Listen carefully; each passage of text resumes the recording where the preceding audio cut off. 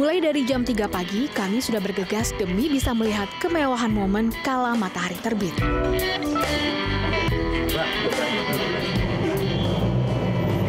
Menggunakan mobil jeep merupakan alternatif untuk bisa sampai ke spot yang akan kami tuju.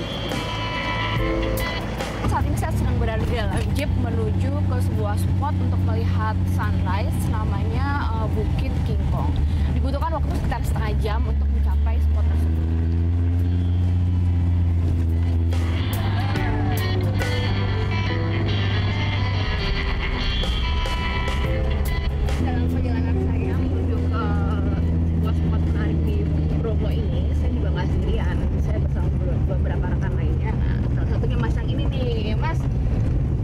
ini ini nih, dia udah berkali-kali ke Bromo. Saya mau tanya, kenapa sih senang banget ke Bromo?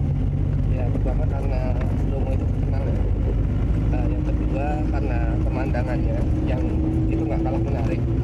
Terus yang ketiga ya selalu ada momen-momen tertentu untuk bisa ambil gambar gitu. Kebetulan saya senang ambil gambar. Oke, eh, udah ke spot mana aja? Kalau saya ke Penanjakan lihat sunrise, terus ke Pasir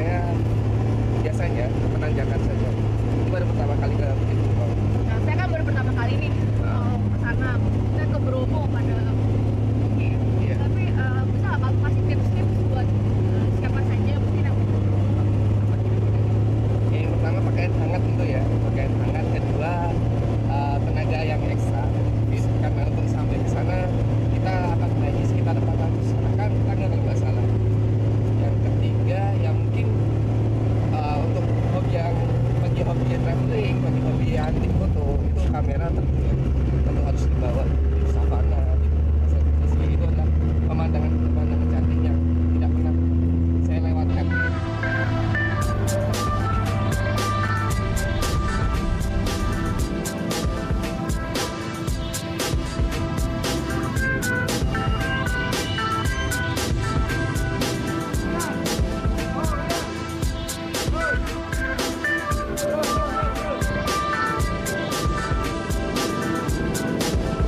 Para traveler punya sebutan unik untuk keindahan bentang alam. Salah satunya adalah Bukit King Kong Bromo.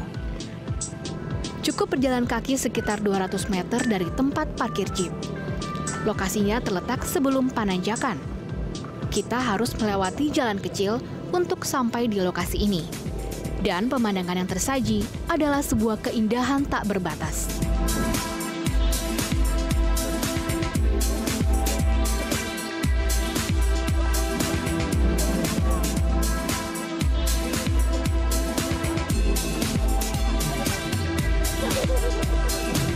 Bukit King Kong Bromo telah difasilitasi dengan sarana jalanan yang cukup baik serta pagar setinggi dada orang dewasa untuk keamanan pengunjung. Tidak ada alasan untuk tidak memilih tempat ini sebagai spot atau viewpoint menikmati matahari terbit.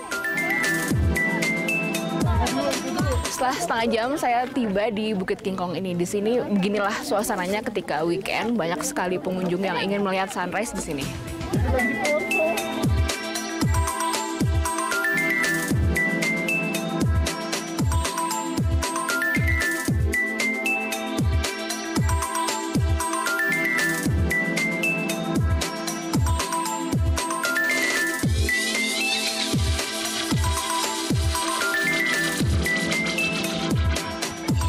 Walau tempat ini tidak setinggi Pananjakan Bromo, namun pemandangan dari sini juga tak kalah spektakuler.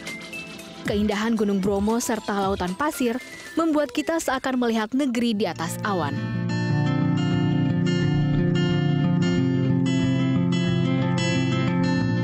Gunung Bromo sebagai gunung berapi aktif memiliki karakter alam yang menawan. Hamparan lautan pasir yang luas serta udara nan sejuk.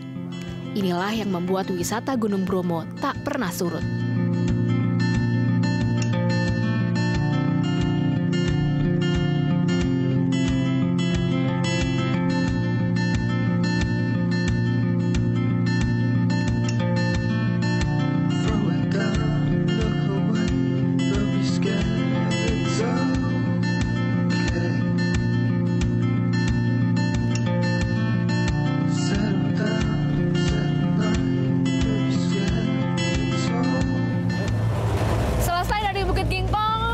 Akan lanjut menuju spot selanjutnya yaitu uh, pasir berbisik.